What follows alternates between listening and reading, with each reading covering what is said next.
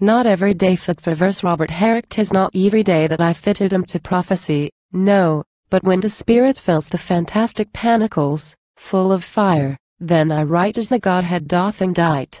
Thus enraged, my lines are hurled, like the Sibyls, through the world, look how next the holy fire either slakes, or doth retire. So the fancy cools, till when that brave spirit comes again,